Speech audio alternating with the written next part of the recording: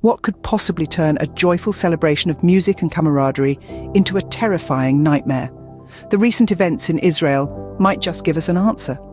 A day of rhythm and revelry at the Tribe of Nova Music Festival was abruptly shattered when the unthinkable happened.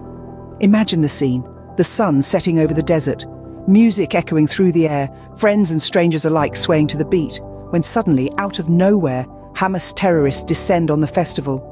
The music no longer masks the sound of chaos, but instead amplifies the terror as bullets and rockets start to rain down. One of the survivors, Millet Ben Haim, shares her chilling experience. She and her friends were having the time of their lives when the attack began. Without any warning, they found themselves running for their lives, hiding under a tree for over six hours.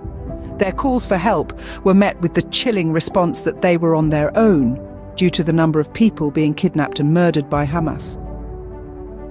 Similar accounts of horror were echoed by others who managed to escape the massacre. They speak of confusion, chaos, and a desperate scramble to survive. The once vibrant festival site was left a deserted wasteland with hundreds of lives tragically cut short. The Tribe of Nova Music Festival massacre is considered the worst civilian tragedy in Israeli history, with at least 260 lives lost. The aftermath was a horrifying spectacle of burned cars and abandoned tents, a stark contrast to the lively celebration that was meant to take place. The impact of this event has been far-reaching and profound. Over 700 Israelis have lost their lives since the start of Hamas's attacks, with more than 1,600 injured.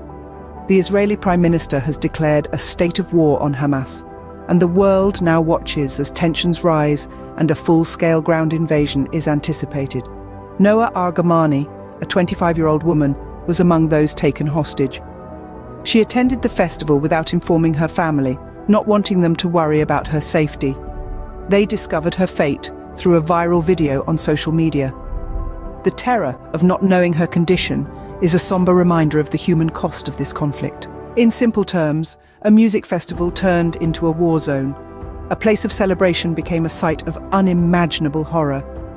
The impact of this event has rippled across Israel and the world, reminding us that peace is a fragile state, easily shattered by the brutal realities of conflict.